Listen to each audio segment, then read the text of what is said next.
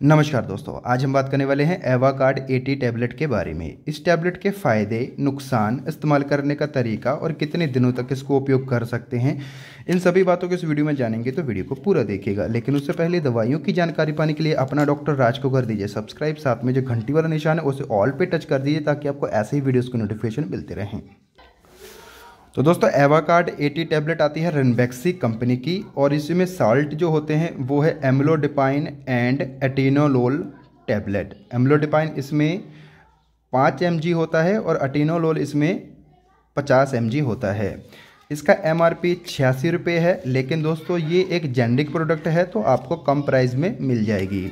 तो चलिए बात कर लेते हैं इसके यूजेस की, किस काम में इस्तेमाल की जाती है। दोस्तों, इसका उपयोग ब्लड प्रेशर को कंट्रोल में करने के लिए इस्तेमाल किया जाता है। जैसे कि हाई ब्लड प्रेशर हो, किसी को बहुत ज़्यादा, उसको कम कर देती है ये। साथ ही साथ टेंशन चिंता, घबराहट और भविष्य में होने वाले हार्ट अटैक और स्ट्रोक को भी ये कम करती है। उस उस खतरे को भी ये कम कर देती है।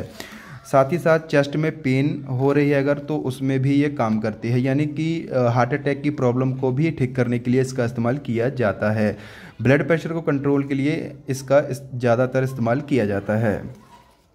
इसकी जो डोज़ होती है, वो पेशेंट की कंडीशन के ऊपर डिपेंड रहती है कि उसे कितना ब्लड प्रेशर है। ठीक है, अगर बहुत ज़्यादा होता है तो हो सकता है दो टाइम भी बता दें या कम है तो एक टाइम भी बता सकते हैं। तो वो डॉक्टर आपको चेक करके फिर ही बताएँगे। इस वीडियो में हम आपको पूरी तरह से कन्फर्म नहीं बता सकते हैं कि इतनी डोज ही देनी चाहिए। तो इसे लगातार इस्तेमाल करने को दे सकते हैं। आपको पता ही होगा, ये बीपी की दवाइयाँ होती हैं, वो रेगुलर चलती हैं पेशेंट की। तो जितने दिन आपको डॉक्टर बताएँ, उतने दिन ही इसका इस्तेमाल करना चाहिए और खाना खाने के बाद या खाना खाने से पहले भी बता सकते हैं। तो वो देखिए पेशेंट की कंडीशन के ऊपर कि कितनी उसे प्रॉब्लम है, कितना बीपी बढ़ रहा है, वो सब कुछ चेक करके और भी दवाइयाँ साथ में देते हैं। तो उसी हिसाब से ही चेक करके पेशेंट को बताते हैं डोज़ का भी, ठीक है?